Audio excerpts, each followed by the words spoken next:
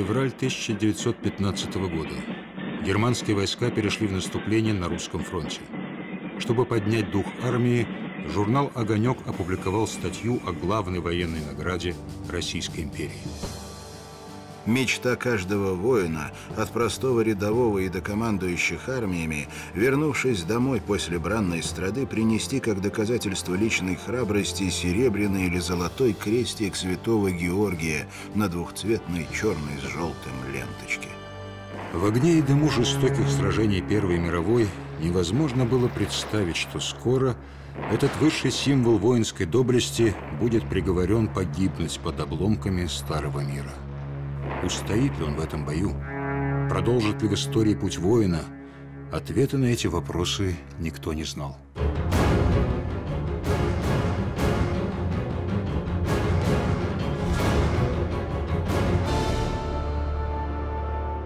Дело в том, что было запрещены все ордена – были даже карикатуры, где там рабочий крестьянин там сметают в совок метлой с человека там буржуя его ордена. Но, обратите внимание, там были изображены почти все ордена, кроме Георгия.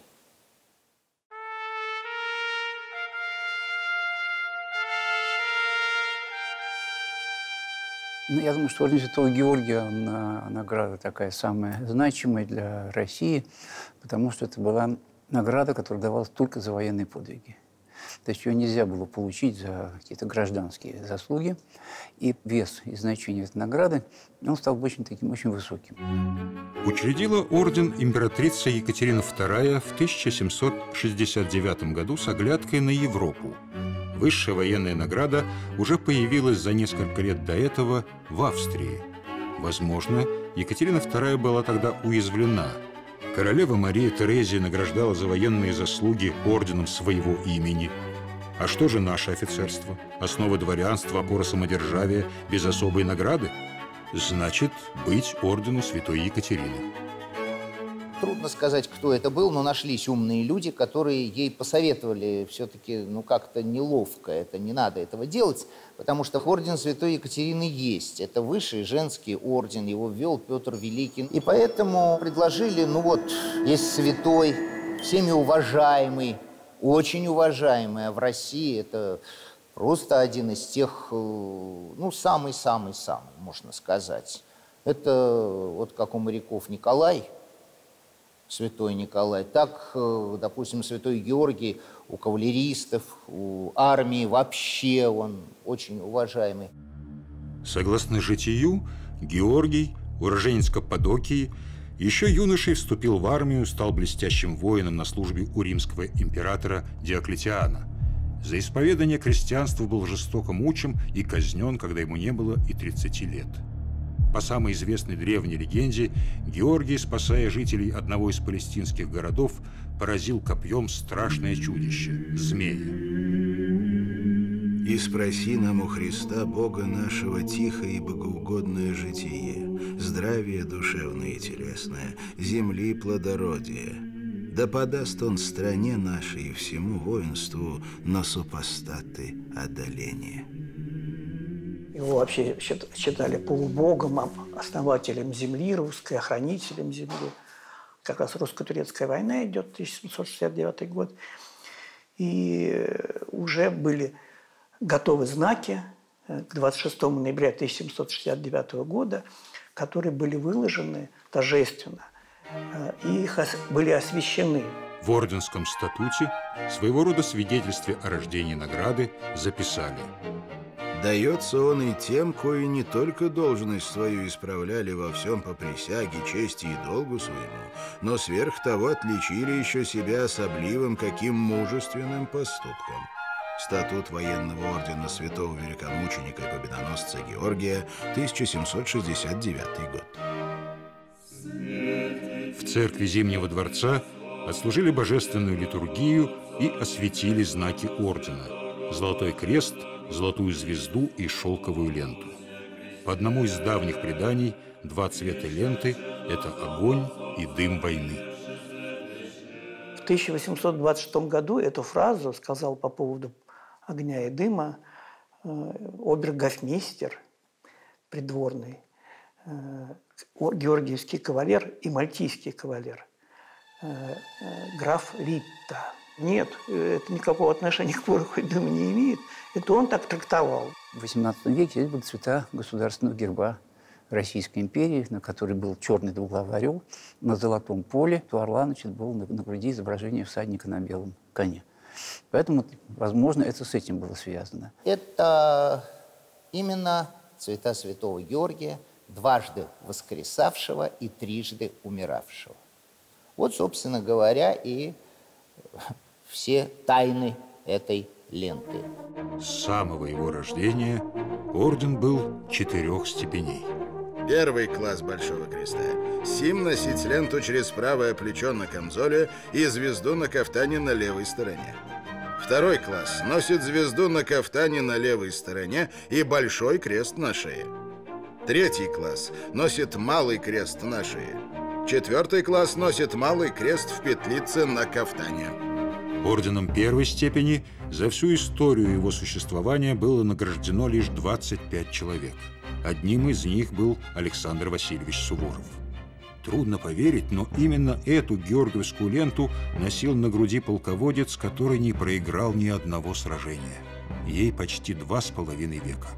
Его парадный мундир украшали уже ордена Святого Георгия и третьей, и второй степени, когда он одержал важнейшую победу над турками при реке Рымник в 1789 году. Численность турецкой армии превосходила тогда русскую в четыре раза. За эту победу Суворов был пожалован орденом Георгия Победоносца самого высокого первого класса. И вот удивительная история – в 1945 году, после Великой Победы, некто Иван Иванович Косинский принес бесценную георгиевскую ленту великого полководца в Московский исторический музей. Никаких подробностей о себе даритель не оставил. Уже в наши дни историки попытались решить загадку. Кто же он? Оказывается, это был такой командир роты э, в Варшавском кадетском корпусе имени генералиссимуса Суворова-Рымниковского. Там и хранилась лента генералиссимуса.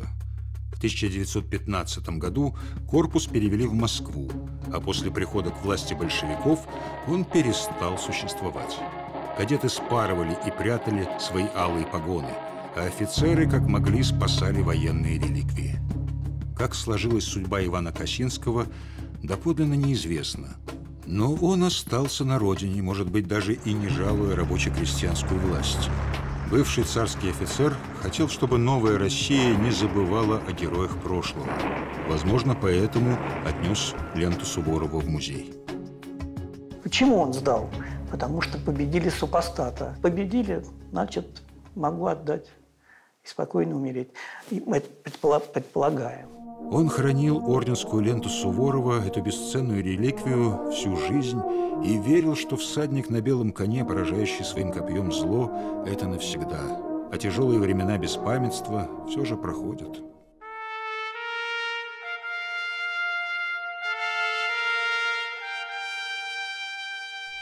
У русского царя в чертогах есть палата.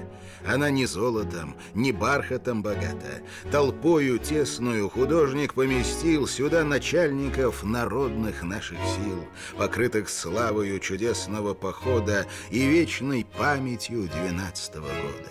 Нередко медленно межими я брожу И на знакомые их образы гляжу И мнится слышу их воинственные клики. Автор этих строк, Александр Сергеевич Пушкин, действительно любил побродить здесь, в военной галерее Зимнего дворца, вглядываясь в портреты героев войны 12 -го года со святым Георгием на мундирах, и всегда замирал у портретов двух полководцев, особо им почитаемых. Генерал-фельдмаршалов Михаила Илларионовича Кутузова и Михаила Богдановича Марклая де Толле, полных кавалеров Ордена Святого Георгия всех степеней. За два с половиной века полных кавалеров было всего четверо. Кроме Кутузова и Барклая де Толли, еще Иван Федорович Паскевич и Иван Иванович Дибич. В 1807 году был учрежден Серебряный крест на орденской ленте для нижних чинов. Солдаты его называли Егорием. как кого-то близкого, родного. Позже серебряному солдатскому Егорию прибавится и золотой. В начале XIX века появились награды и для целых воинских частей – георгиевские знамена, штандарты и серебряные трубы.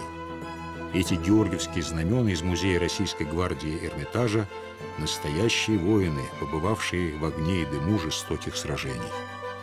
Они отличались от обычных э, знамен штандартов тем, что на них писалась надпись, за какое сражение э, была дана эта награда воинской части тому или иному полку. Кроме того, в навершие вставлялся Георгиевский крест, и кисти подвешивались на Георгиевской ленте. В Отечественной войне 1812 года особенно отчаянно сражались солдаты и командиры лейб-гвардии Литовского полка. И вот под этим знаменем в этом полку служил один из Вильнобаховых, который прошел, это был на Бородинском поле э, в составе этого полка, и прошел с ним потом до Парижа, и за сражение при Бородино был награжден шпагой за храбрость. Его звали Иван. А это знамя лейб-гвардии гренадерского полка. Под ним гвардейцы совершали подвиги и побеждали в решающих битвах и русско-турецкой войны, и Первой мировой. 12 октября 1877 года в бою против турок при Горном Дубнике командир полка Юлиан Любовицкий был дважды ранен, но остался в строю. Он надел на себя барабан погибшего сигнальщика и продолжал бить сигнал наступления. Турки вывесили белый флаг. За эту победу Любовицкий получил святого Георгия третьей степени.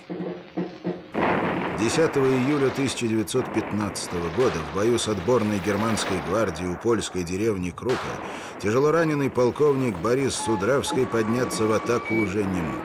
Тогда он отдал приказ нести себя на руках и запел старый полковой марш «Где не пройдем, там ляжем, умрем». Противник был опрокинут. Борис Судравский получил Георгиевский крест четвертой степени посмертно.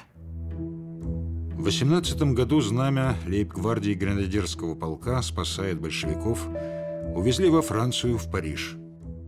И в 50-е годы, когда они уже, в общем-то, уже офицеров становилось все меньше, и было понятно, что еще, еще чуть-чуть и э, знамя окажется бесхозным, они решили его на сохранение передать в родственный полк э, английской гвардии, в гвардейский гренадерский полк э, Великобритании.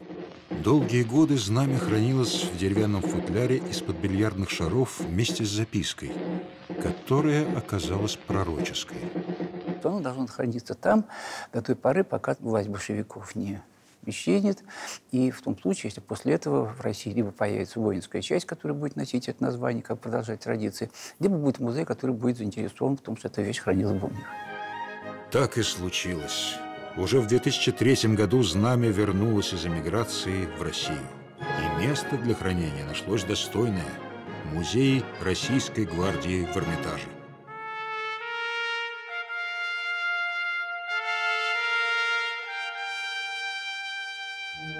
Разными путями, спустя десятилетия, возвращаются из изгнания награды на родину. В 2014 году из Польши э, внучка генерал-лейтенанта русской армии императорской Юлия Юлиановича Белозера написала письмо «Я хочу подарить музей награды, принадлежавшие моему дедушке». Эта семейная история растянулась на несколько войн и поколений. В 1901 году, когда подполковник Белозор воевал в Китае, подавлял восстание хатуаней, у него родился сын. Ему пришла телеграмма «Поздравляю с Георгием». А как понимали тогда Георгия? Так ты награжден, что ж ты молчал? А он э, говорит, да нет, это у меня сын Георгий родился. 13 мая 1904 года в бою с японцами у города Кинчжоу Белозор был тяжело контужен, ранен осколком снаряда и пулей. Вот что писал потом командир полка. Штабс-капитан Шастин и подполковник Белозор, жертвуя своей жизнью для спасения отступающих, собрали четвертую роту и людей около них бывших и открыли огонь по обходящим японским колоннам. Эта команда вся легла до одного человека, но дала возможность отступить спокойно остальным. Николай Третьяков, 5-й Восточно-Сибирский стрелковый полк на Кинжоу и в Порт-Артуре. Ни у кого тогда не было сомнений, что погибли все до одного. Но Белозор каким-то чудом выжил, попал в японский плен, был освобожден и продолжил свой путь воина. Первую мировую войну он получил два Георгия, четвертой и третьей степени. Но, к сожалению, они были проданы. Во время войны, Второй мировой, есть на что-то надо было, и они ордена продавали. После 20 -го года он жил в Вильно, и в 42 году там умер. Но есть крестик, принадлежавший Георгию, потому что он в 1901 году родился и успел в Первую мировую войну, сбежал на фронт юнкером. И награжден был Георгиевским крестом. 16 лет ему было, и он в 17 году получил этот крест. Как говорили тогда, грудь в крестах или голова в кустах. Даже война не могла отменить ежегодный орденский праздник – День Святого Георгия, который отмечался во всей империи и, конечно, в столице. Главный большой тронный или Георгиевский зал. И э, здесь проходили самые-самые парадные церемонии, которые только могли проходить, когда во дворец приглашались кавалеры ордена Святого Георгия, которые э, находились в этот момент в Петербурге. 26 ноября 1915 года георгиевские кавалеры отмечали свой день в Народном доме императора Николая II. Сначала был молебен о даровании побед русскому воинству, потом обед на 16 тысяч человек. Среди них было немало раненых из лазаретов и госпиталей. Газета «Вечернее время» писала даже праздничное меню – мясо тушеное с брюкой, пол курицы жареной, сладкий пирог, виноградное вино и мед. За широкими столами собрались участники пяти военных компаний. Молодежь с интересом прислушивается к рассказам ветеранов. Имена Скобелева, Алексеева, Брусилова слышны отовсюду. Во время обеда играли оркестры. Николай II впервые праздновал этот день не в столице, о вставке Верховного Главнокомандования в Могилеве. Вечером в дневнике император написал Приятно было видеть столько героев вместе. В двух залах поместилось 170 человек. Поговорил с каждым. В том же 1915 году на Петроградском монетном дворе для изготовления георгиевских крестов в день плавилось по 12 пудов серебра и до 8 пудов золота. По распоряжению начальника монетного двора барона Клебека работа продолжалась и по ночам. За годы Первой мировой Георгиевские кресты получили около 4 тысяч офицеров и почти полтора миллиона солдат.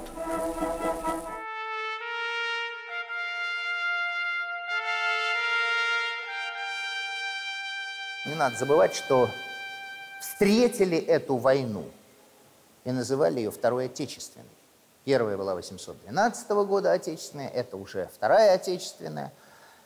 Вот, Великая война или Вторая Отечественная, это было очень-очень важно.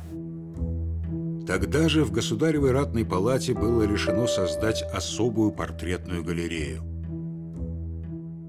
Первая Отечественная война 12 года и галерея героев в Зимнем дворце. Там сплошь генералы. А давайте мы здесь сделаем ко Второй Отечественной галерею героев, но здесь будут георгиевские кавалеры. Причем и солдаты, и офицеры, здесь не важно. И четыре художника стали выполнять портреты георгиевских кавалеров. Во-первых, никто не знал, сколько это продлится, не знал, во что это выльется и чем это закончится.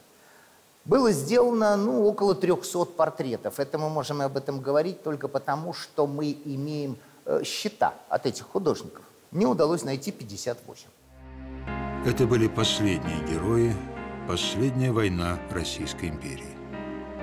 После Октябрьской революции Георгиевские кресты, звезды, знамена, серебряные трубы и золотое оружие оказались всего лишь частью старого гибнущего мира. Мира насилия, который нужно было разрушить до основания дома старались избавиться от э, всего, что как-то могло указать на твое происхождение, на принадлежность к дворянскому сословию, к офицерству и так далее. Выбрасывали кортики, выбрасывали шашки, причем куда угодно, просто там фонтанку, там мойку. Прабабушка моя, значит, когда начались первые э, обыски, она э, сожгла письма, которые ее муж, ведь прадед писал с э, фронта русско-японской войны, он каждый день ей писал письмо.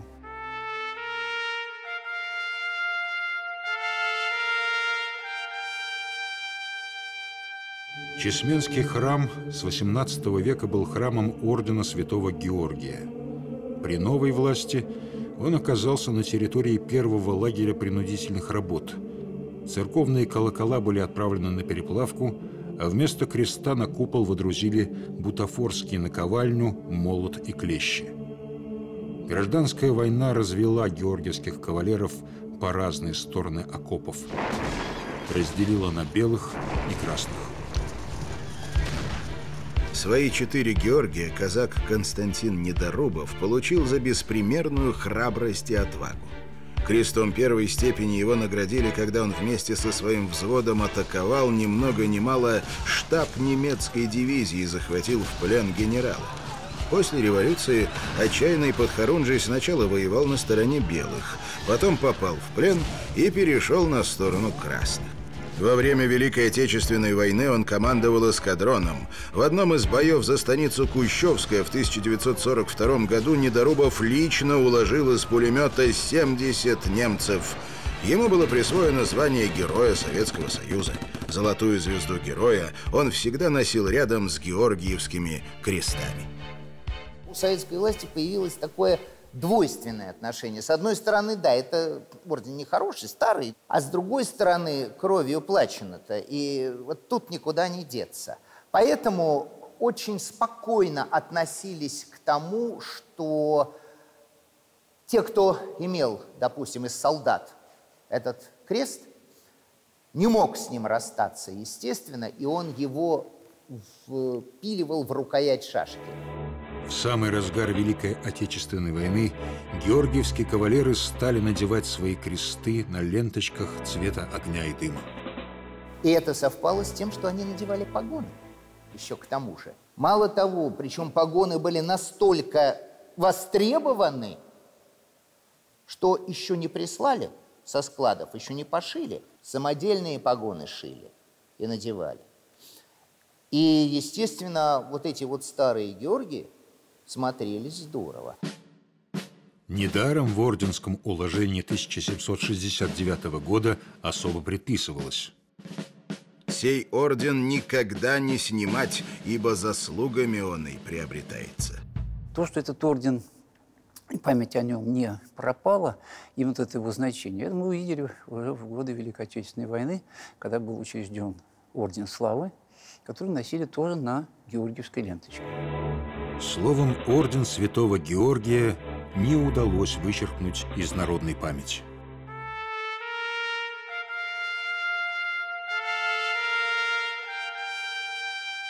Я еще помню, на Большом проспекте Петроградской у нас здесь, во время всех праздников, 1 мая, там 7 ноября, когда шли демонстрации, выходил дед с Георгием, без козырки, в морской форме старой русской. Это был матрос-сваряга. И милиция имела приказ охранять, оберегать, чтобы не дай бог что. Это был единственный случай в истории. За особое мужество, проявленное крейсером «Варяг» в бою с японской эскадрой, командир корабля Руднев и все офицеры были награждены святым Георгием четвертой степени. Все матросы тоже получили своего Егория четвертой степени. В Новой России 2 марта 1992 года военный орден Святого Георгия был восстановлен. За два с половиной века этот орден прошел путь настоящего воина, победы и поражения в мировых войнах, революции, изгнания, но оставался в строю. Как и герои, чьей груди коснулся Святой Георгий. Они жили, любили, служили своей стране – и совершали подвиги не по воинскому уставу, а по евангельской заповеди.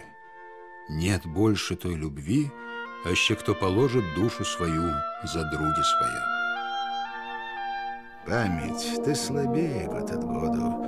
Тот это или кто другой променял веселую свободу на священный долгожданный бой? Знал он муки голода и жажды, сон тревожный, бесконечный путь, но святой Георгий тронул дважды пулею нетронутую грудь. Николай Гумилев дважды георгиевский кавалер. Время уводит георгиевских кавалеров все дальше и дальше в историю, покрывает патины их портреты. А память людская сражается за их возвращение в настоящее. И в этом бою побеждает память.